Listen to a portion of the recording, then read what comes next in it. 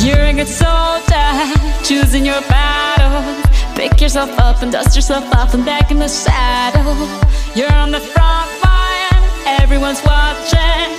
You know it's serious, we're getting closer, this isn't over.